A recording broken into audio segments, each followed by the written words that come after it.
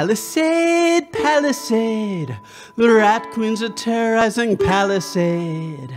The four Daves are nicer, but kind of boring. When I sing about them, people just end up snoring.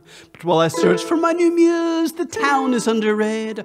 A troll and her orc army are attacking Palisade.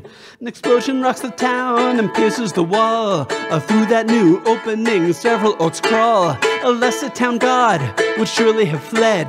But one man stands tall and shoots an orc in the head. It's Gary! Oh wait, I think it's actually the guy next to Gary! He's at his best with the switch. Get scary. If you attack, be sure to parry. If you got to Gary, you best not tarry his lost. Get down though he never chose to marry. Heard he has a cousin by the name of Larry. Looks a lot like Gary, but a bit more hair. If you still have questions, head to the library's position of all Jerry Bell answer an inquiry. That's Larry! Not Gary! Oh my gosh, Larry's so much cooler than Gary. That's Larry! Larry tells the queens about a man with many rings. Gary tells the queens about the time he was meant to be king. Uh, wait, what?